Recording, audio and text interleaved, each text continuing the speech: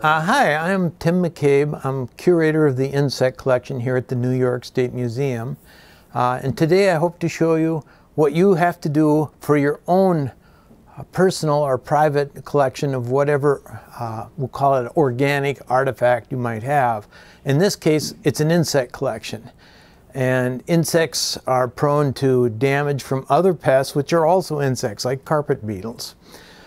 To avoid this, we have modern cabinets with good tight-fitting drawers inside of tight-fitting cabinets. Here's an example of a, a drawer, really a box within a box. Each is a protective layer that keeps pests out of the collection. You should be doing something similar. You should have a tight-fitting box and put it in a cabinet with a tight-fitting door so that all light is blocked out.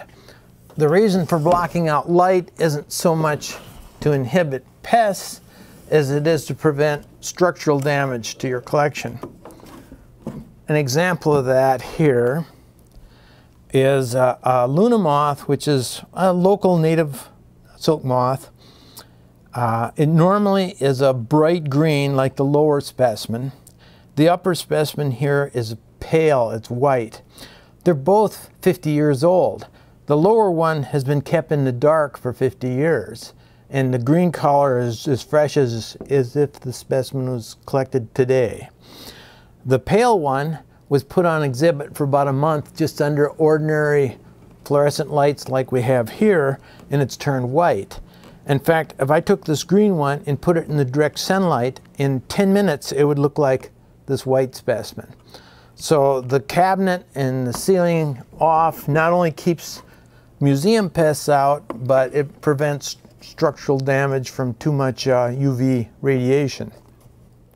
Now in this case, we have some examples that I've saved of carpet beetle damage to a collection.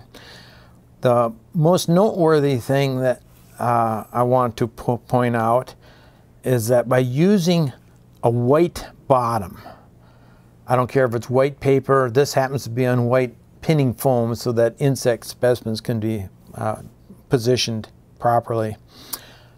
The white foam will show up the black frass of a carpet beetle very readily. So with just a casual visual inspection, you should be able to tell that you've got carpet beetle problems. But also you can find the adult, which because it's a tight-fitting drawer, the adult will emerge inside this box and not be able to get out, and you'll find dead adults. Uh, you'll find cast skins from each of the four molts that the beetle larvae make. And you'll see all the frass against the white. It'll look like powder, dark powder against your white background. That indicates that you have a carpet beetle problem. That gets us to the next step, which is what do you do about a carpet beetle problem? In this collection, uh, because it's a public space, we can't use toxic chemicals that kill uh, the dermestids outright. You won't want to be using toxic chemicals in your home or your private collection is stored either. So what's recommended by me here is to put down white under all your objects so that you can easily detect the damage. When you do detect the damage, then you've got several things you can do. Uh, first and foremost is to see if you can't find the specimens actually feeding on it and remove the specimens from, from your artifact. Uh, you can put the specimens in a freezer and leave them in the freezer for four or five days. That will kill some stages, but some stages will be resistant to freezing because these carpet beetles occur in nature out of doors and at a certain say, stage of their life cycle, they can go into diapause and survive the winter. So I've put living dermestid larvae in a, a deep freezer for minus 20 degrees Fahrenheit for three months, thawed them out, and they crawled off. So it isn't a guarantee, but it will knock some of them back because some of the life stages won't be at the critical point where they can go into a, a diapause.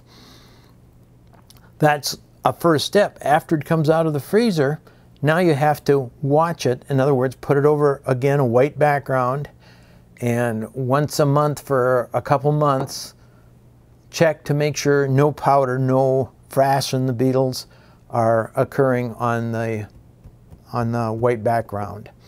That's a good way to do it, sort of mechanical method, no insecticide involved.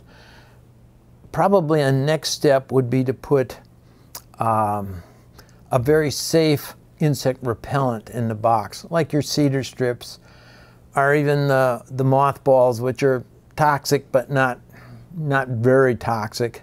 Um, they're pretty safe in a situation where you've got things double boxed to, to use mothballs that the, the mothballs and the cedar strips are just repellents. If you've already got your dermestids in the collection, in your artifacts, uh, they'll continue to reproduce and develop in there. It's just that it'll keep things out if, if it's clean to begin with, but it won't do anything to a living organism in the collection.